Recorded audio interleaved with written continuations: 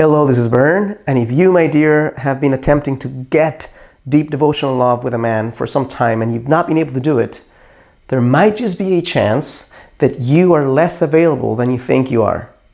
If you feel this is interesting, well, stick with me because on today's episode, I'm going to be sharing with you four signs that you, not him, is the unavailable one.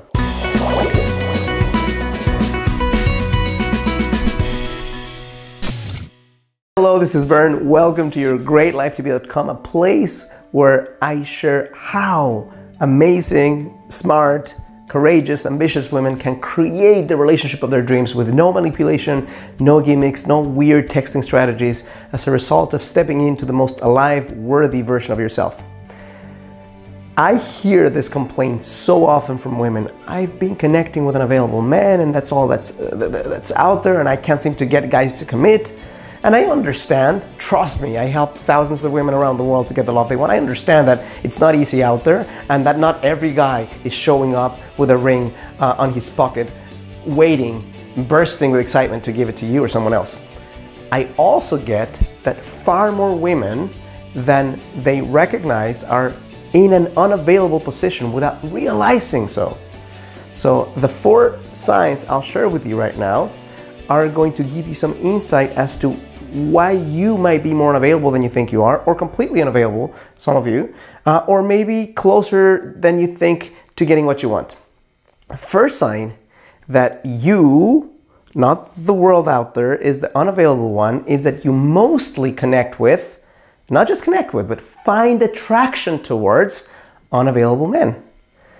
I help a lot of women and I know that sometimes the trigger of the guy that's exciting and suave and smooth and fucking player basically is super exciting in some way. He's confident. He seems to know what he wants. He will stare into your eyes and tell you how awesome you are, not even ask you, just command you to get close to him. So I understand the appeal for some of that, but I also understand that when you find yourself time and time and time again being attracted to guys who are unavailable, it is not despite the fact that they're unavailable. In many cases, I'll say in most cases, it's because subconsciously they're unavailable. So before you throw a tomato at me, let me explain why I say this.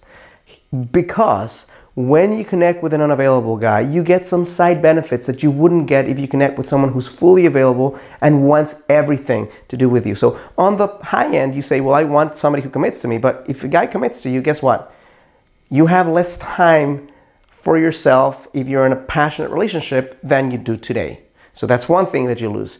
You also have a guy who's willing to go really deep and see you. And when he goes deep and sees you, he's to see things that you don't like about yourself. So in some way, subconsciously, it's easier to connect with guys who don't want to go the distance. You never have to get uncomfortable, right? At the level of fearing he's seeing the deep, dark side of me that I don't like anyone to see. So that's part of it as well. The third part of this, I mean, the third reason why unavailable guys are in some ways appealing is because when you connect with unavailable men, you don't have to be abandoned by someone. Why? Because the guys, you know from the start, he's not even really in it. So he never has to leave you hanging. So it's painful when you disconnect with him, but it doesn't feel like falling of a hundred story building. So that's that's the first sign that you might be an available one, that you find a lot of attraction towards guys and you think it's despite the fact that it's unavailable, but really deep down it's because they're unavailable that you find them so attractive. Number two, your gut level feeling of fear is stronger than your desire for a relationship. If you close your eyes and you think about, I want a relationship, you feel some warm, fuzzy feelings. But if you think about the opposite side of it, if you think about what could happen, if you think about the pain you've experienced, if you think about, well, what if a guy comes and is abusive like the guy I met two years ago, if your deep gut level feeling of fear and pain is stronger than your desire for a relationship, you're going to act out in some ways, in unavailable ways, either connecting with unavailable guys, doing less than you need to do, um, saying things that you didn't, don't need to say, putting extra pressure on guys. So, in essence, doing something subconscious to make sure this doesn't happen. Why? Because if it happens, then your level of fear rises up to the challenge, rises up to the surface. Um, number three, you're not doing, doing nearly what you could be doing to get what you want.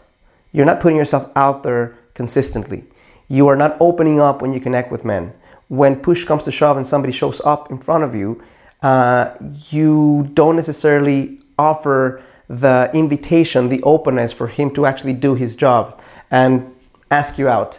So, in essence, if you are taking little action, that is a sign that you may not be as available as you think you are. Listen, you can be a radiant, awesome goddess if you are mostly sitting in your house on Friday nights watching Netflix. Sweetie, you're not as available as you think you are. Number four, last one, and it's important one, but please, please pay attention. You feel that your problem is mostly outside of you. You feel I'm doing everything right. I am super open. I am expressive. I am fun. I am feminine. Uh, I love my life. And somehow the world doesn't, uh, has a different version of me, but they're all wrong and I'm right. If you feel like the problem is mostly outside of you and you haven't had the awareness, the insight, the understanding of figuring out that there's something you are absolutely clearly doing, if you are the common denominator of your failed relationships, if you're the common denominator of all your interactions with men, if you're the common denominator of the attraction you feel towards guys who can't make it happen, then and you don't have necessarily an idea of what you might be doing, then you are in essence acting in unavailable ways because you feel like you're doing everything right and you're not. Now, am I saying that uh, just a super clear disclaimer? I am well aware that there's plenty of guys will show up and only want to have sex with you. I am very aware that there's guys who connect with you and they are married. But that's not all that's out there. There are available men. There are guys who are hungry. There are guys who really want something deep and awesome with you. Sometimes you don't give them enough attention. Sometimes they don't feel as exciting as those guys who are flashy and somehow dangerous. So just understand that you might be playing a bigger role in your unavailability uh, as it relates to men than you think. Hope this is helpful, useful, and insightful in some way. If it is, I'm going to ask you to do three things. Number one, click like or thumbs up on this video. Uh, number two, subscribe to my channel uh, I'm about to hit the 100,000 subscriber mark, and I really want to you to be part of this movement and uh, hit the little bell if you want, if you don't want to miss out on future videos. Third request is if you find this is helpful and you want more guidance as to how you can take this forward, there's two different things you can do. Number one, the first link on the description of this video will take you to a masterclass that I'm hosting that shows you how you can step into a better relationship and show up more available in your life than you have in the past. If you feel Bern, the videos are great, the books I'm reading are great, but I'm still not getting it, and I don't have an extra four years to figure this thing out through trial and error. There is some help available. If you want me to hand hold you through the process of finding your guy, there's an application on the description of this video as well, where you can apply to connect with me. If we, I feel we might be a fit, then we'll talk. And if we hit it off and you want to go forward, invest in yourself in getting the relationship you want with a lot less pain, and a lot more ease than before, then I'll be happy to help you do this the way I have with thousands of women around the world. Thank you so much for connecting with me, and as always, I challenge you to live a full and a conscious life.